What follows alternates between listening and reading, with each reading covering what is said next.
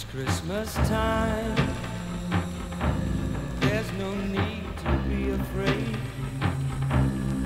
At Christmas time, we let in